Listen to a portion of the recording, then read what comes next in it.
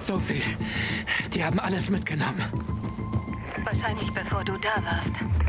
Alles ist schiefgelaufen. Oh! Jetzt gehen wir in die Offensive.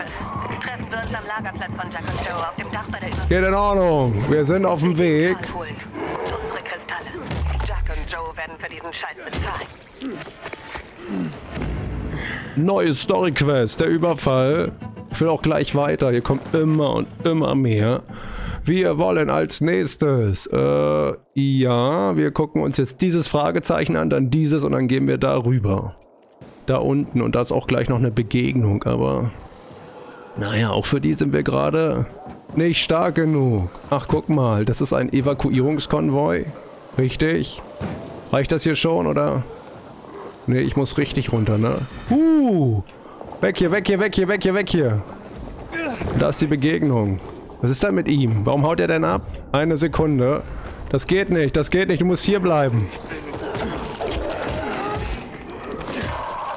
Eine Sekunde, stopp. Ich habe da ein Geheimmittel. Sehr gut, Bandit gefangen. Aber ich muss mein Loot noch abholen. Hoch, hoch, hoch, hoch, hoch. Hier ist richtig Remi Demi. Alle wegbrennen bitte, alle wegbrennen. Kann ich da rein ohne Probleme? Oh, oh, oh, oh, oh. Okay, es geht rein und wieder raus. Und nun, nun wollen wir weiter zum nächsten Fragezeichen. Links von uns. Ein Glück sind wir direkt um die Ecke. Das ist ein Fragezeichen. Oh, das ist ja eine coole Location. Die sieht wieder storygebunden aus. Wenn ich mich nicht irre, da oben geht klar, Mann. Oh, sie laufen uns schon wieder alle hinterher. Komme ich da überhaupt rein? Ist das überhaupt möglich? Finger weg! Uh, uh, uh. Uh, uh, uh. Das ist ein Banditenlager oder so, ne? Kommt man denn da rein? Ich glaube, wir sind zu früh hier. Wir dürfen auch gar nicht verflucht nochmal hier sein. Richtig? Richtig? Nee, da kommen wir hoch. Das kriegen wir hin. Oh, wie viele. Wir müssen kämpfen. Aua. Ey, das war echt nicht nett von dir. Und kicken, Mann. Na, na, na, na, na. Eins nach dem anderen. Für euch habe ich natürlich Shuriken.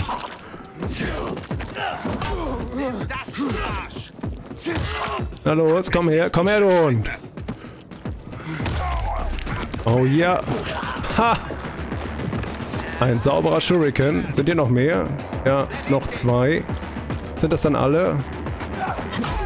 Boom! Ja, yeah, und ein Schlag hinterher. Und Dropkick. Das war seine Nahkampfattacke, aber die wird dir nicht helfen.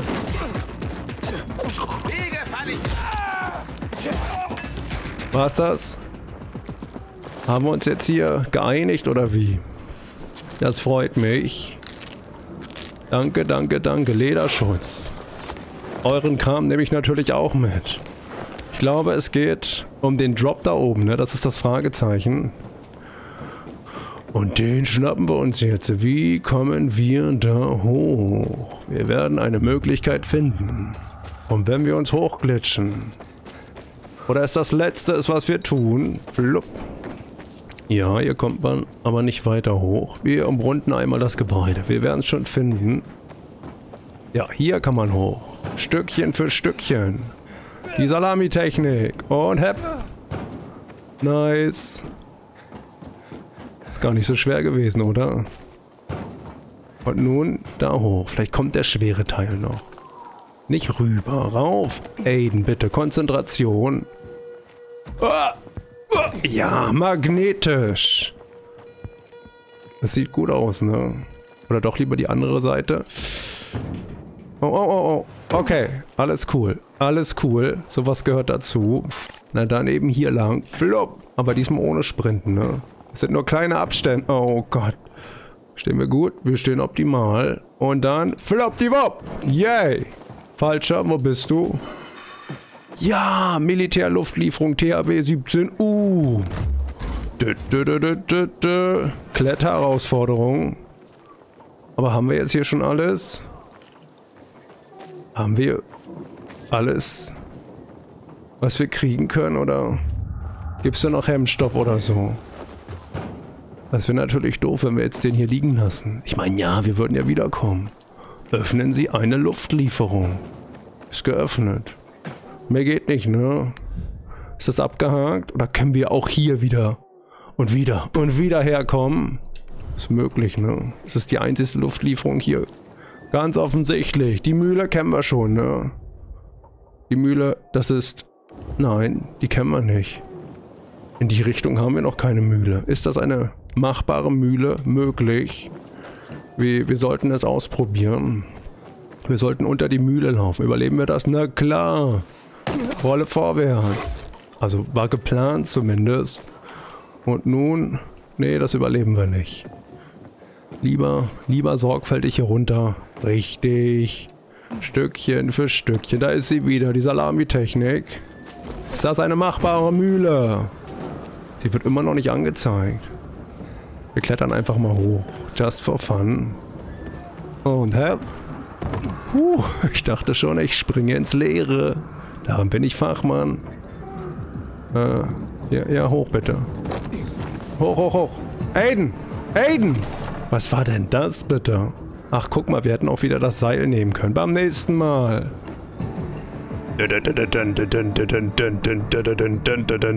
Ist das eine Übernahme? Übernahmen. Übernahmemühle. Nein, ist sie nicht.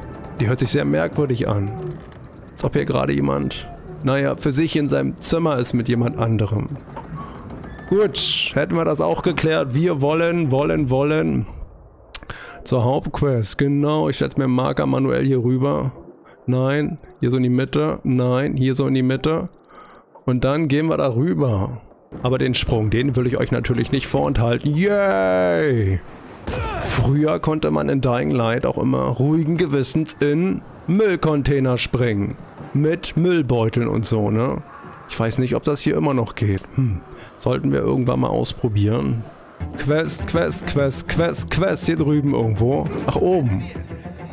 Oh, und hier wird auch wieder gekämpft. Hey, ich habe einen Speer. Wer will es wissen? Wer verflucht nochmal will es wissen? Von diesen verfluchten Banditen. Ja. Ja, Mann. Umgesmashed. Seid ihr hinüber?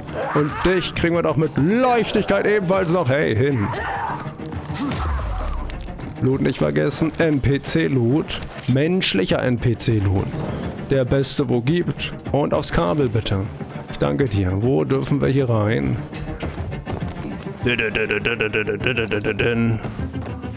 Oh, hallo? Ihr seid freundlich. Das ist schön. Na? Hallo, Herman. Er kann nicht reden, ne? ist Sophie? Kann wirklich nicht Warum reden. warst du nicht bei der Mission? Deine Freunde hätten dich gebraucht. So ein Chewbacca-Charakter. Das heißt wohl, ich soll hier warten.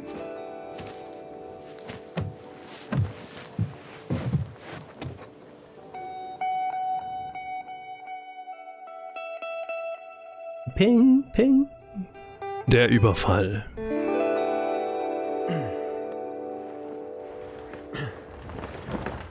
Es ist wieder ein Traum, ne? Das erkennen wir ja an der Filmkörnung. Dieser massiven äh, Bewegungsunschärfe. Die habe ich eigentlich komplett ausgestellt in Dying Light 2. Seit dieser Aufnahme. Weil man kann überhaupt keine Screenshots ansonsten aus dem Videomaterial ziehen. Ist alles nur verschwommen.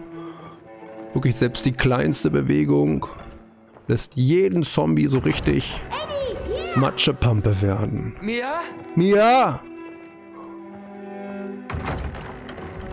Aiden, was ist denn los mit dir? Ich weiß auch nicht. Wo bist du?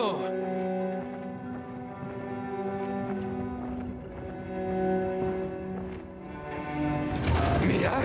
Oh nein! Nein! Nein! Aber diesmal ist sie auch groß, ne? In dem Traum.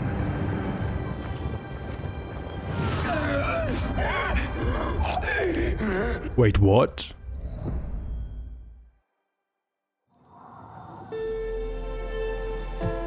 Jack und Joe werden dafür zahlen, was sie getan haben.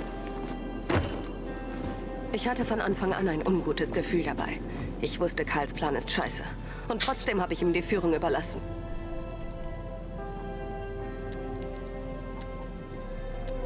Und wie lautet der Plan? Von nun an folge ich meinem Bauchgefühl. Unter meiner Führung wird sowas nicht nochmal Wenn du passieren. dich ein bisschen mehr beeilt hättest, wären vielleicht noch mehr unserer Leute an Also ihn kann ich überhaupt dachte, ein nicht ab. Und ihr, ihr kann ich auch irgendwie nicht trauen.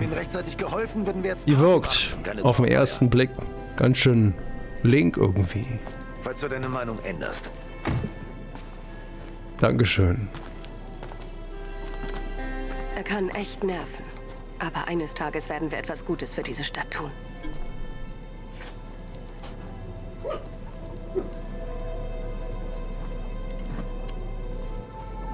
Birdie, auf dich!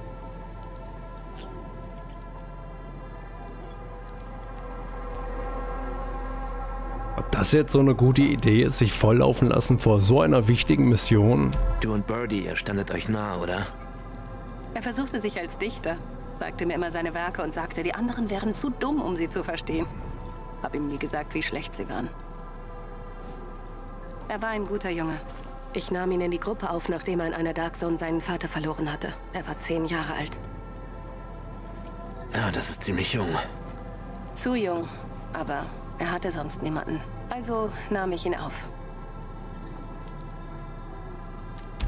Wenn du es schaffst, diese Banditen zu erledigen, ne? Jack Arsch und Joe Loch. glaubst du, Arsch und Loch umzulegen wird irgendwas ändern?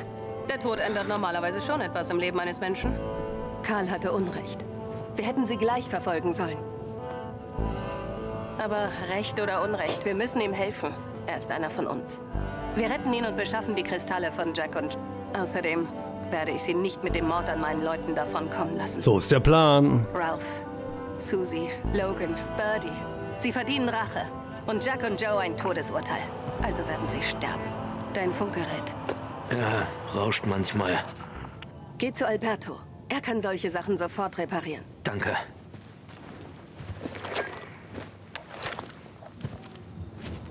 Hater hier. Hauen Sie ab, aber sorgen Sie dafür, dass Sie niemand sieht. Ihr zwei gebt ein hübsches Paar ab, Aiden.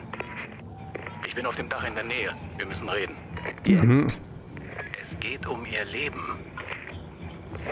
Das ist eine Falle, ne? Ich reiß den die Kehle Okay, treffen sie sich mit Aether.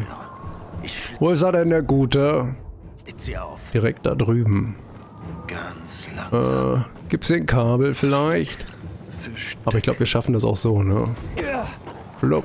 Oh, oh, oh, oh, oh, oh. Wo was? Wo ist Hemmstoffbehälter? Wir müssen dahin. Wir müssen zum Hemmstoffbehälter. 42. Schande. Wo ist der? Hey, hey! Ich suche doch Hemmstoff gerade. Müsst ihr mich jetzt hier belasten? Mit euren Problemen? Nee, es muss hier in die Richtung sein. So, 35, 34, 30. Äh, richtige Richtung. Schön. Weiter. Und jetzt entfernen wir uns wieder. Ja, hier lang? Nein, hier lang. Darüber. Ach, im Laden. Ach, guck mal. Ach, guck mal. Aber. Warte mal, die können wir nochmal spielen. Hatten wir nicht genau die schon gespielt gehabt? Hatten wir die nicht schon gespielt gehabt? Das geht nochmal? Ja, dann machen wir das. Das ist ja schnell gemacht. Und wir brauchen den Hemmstoff. Okay. Sperrgebiet. Ich nehme den, den Speer schon mal mit. Hallo, hallo, hallo. Wo ist er denn? Geht's los? Hä? Ich kann direkt rein. What the heck? Ähm. Ähm. Ähm. Bug? Fragezeichen. Das wirkt gerade sehr verbuggt. Die Kiste hatten wir doch schon. Hä? I don't know. Ich weiß es wirklich nicht. Kriegen wir jetzt auch einen Fertigkeitspunkt?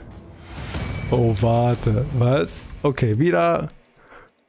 Ausdauer bitte. Und dann den Kampfpunkt. Mäuschen Ellie. Ist okay, ist okay. Wir werden das gemeinschaftlich besprechen, wofür wir den Kampfpunkt ausgeben werden.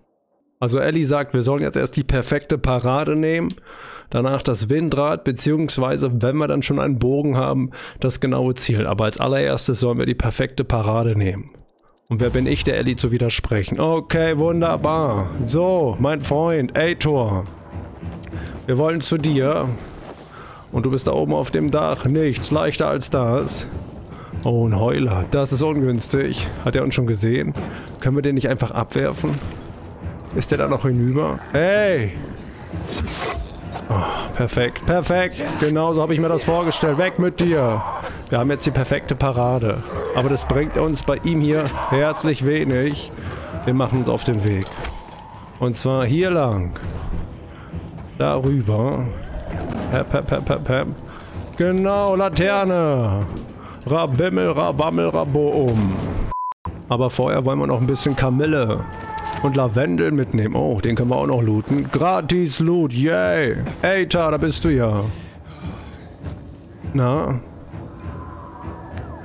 Was wollen Sie? Mir gefällt, Was nicht, wollen hier Sie? vor sich geht, Aiden.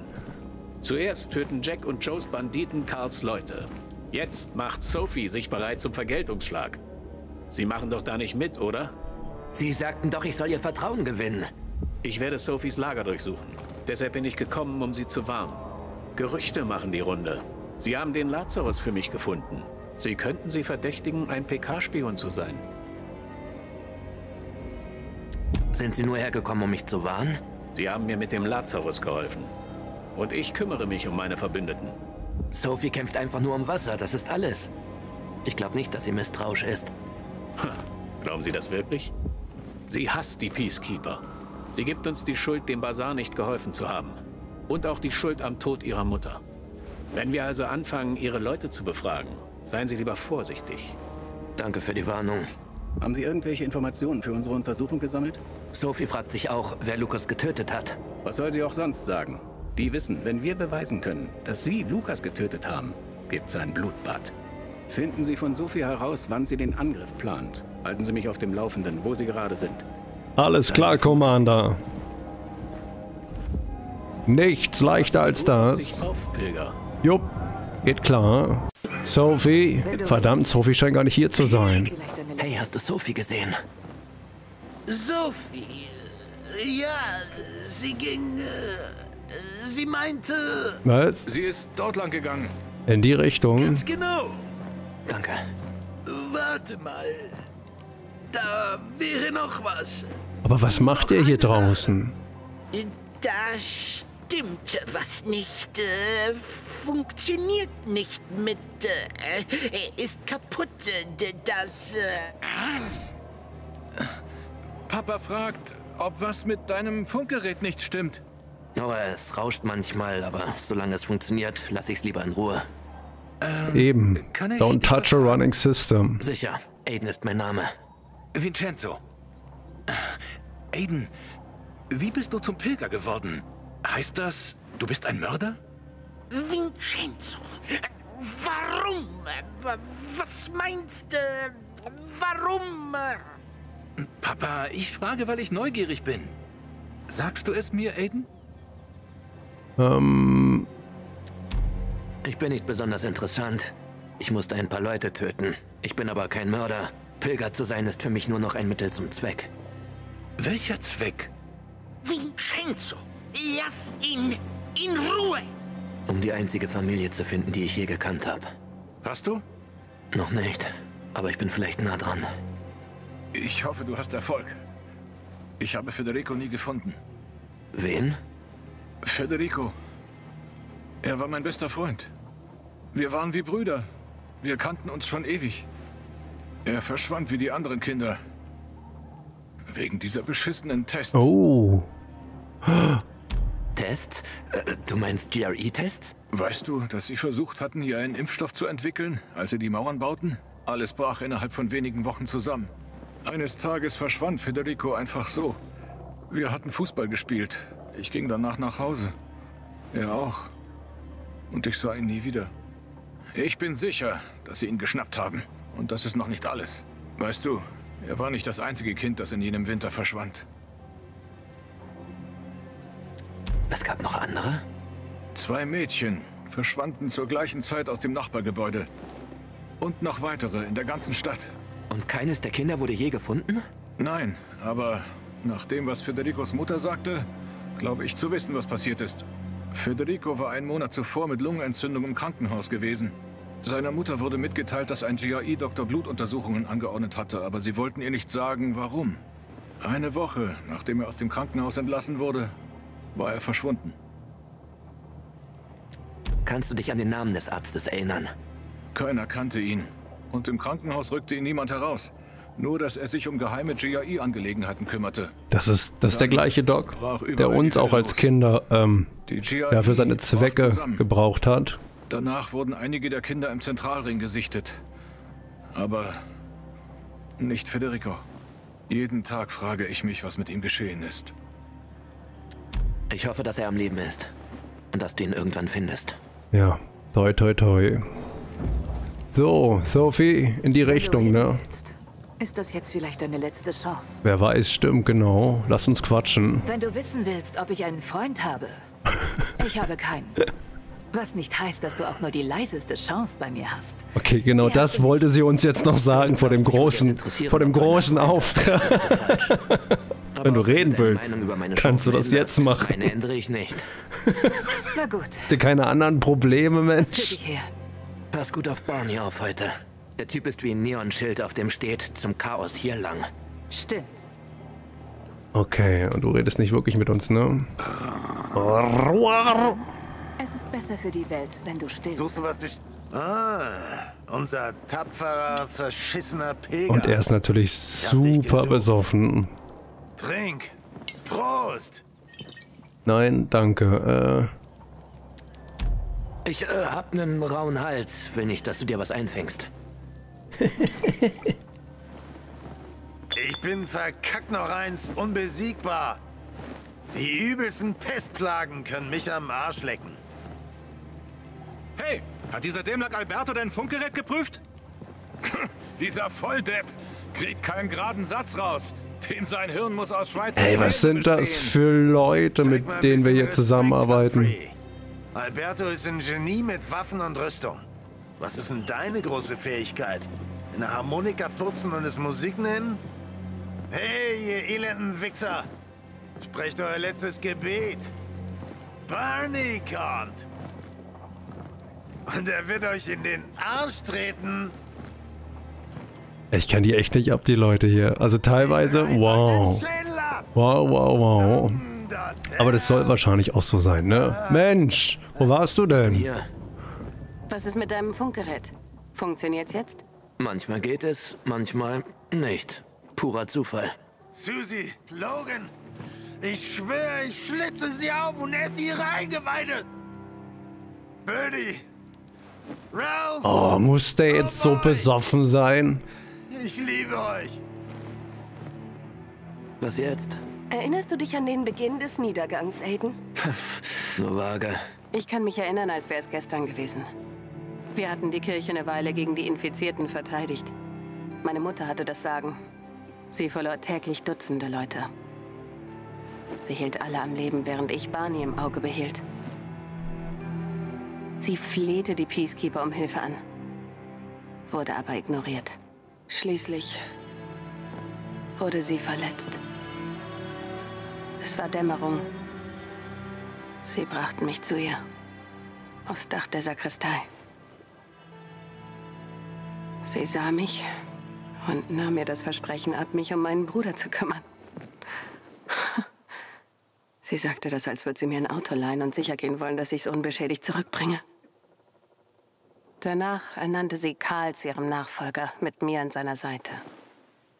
Du wirst einmal ein viel besserer Anführer sein als Karl, sagte sie. Aber solange die Welt brennt, hören die Menschen nicht auf jemanden, der so jung ist. Sie lag falsch. Ja, Habe ich mein stimmt. ganzes Leben lang gedacht. Aber jetzt nicht mehr. Jetzt verstehe ich meine Mutter. Als Anführer musst du skrupellos sein. Damals war ich nicht bereit. Jetzt Ein bin ich Killer. Ich glaube, ich weiß, wovon du sprichst. Und ich weiß, was Verlust bedeutet. Es geht um rationale Entscheidungen. Über meine Schwester. Tut mir leid. Vielleicht muss es das nicht. Wir werden sehen. Und deshalb bist du in die Stadt gekommen, oder? Wegen ihr. Ja. Sophie, wir müssen reden. Zeit zu handeln. Je schneller wir das hier durchziehen, desto weniger vorbereitet sind Jack und Joe. Aiden, Aiden. Oh Gott. Lass uns noch mal von vorn anfangen. Hier, trink dir ein bisschen Mut an. Solltest du vor einer Mission wirklich so viel trinken, Dankeschön. Dankeschön. Ich hab die stärkste Leber. in Ja, das mag Windor. sein mit der Leber, aber um hast du auf den stärksten Kopf? Wo ist Sophie? Dort. Auf dem Dach. Ich hab dich im Auge, Pega.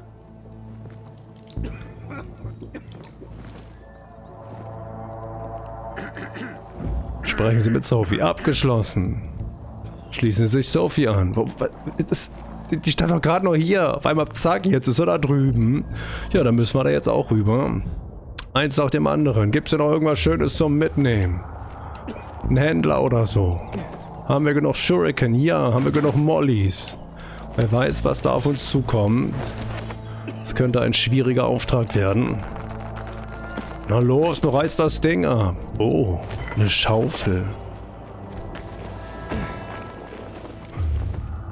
Und sonst weiter nicht so. Äh, ja, darüber. Los geht's.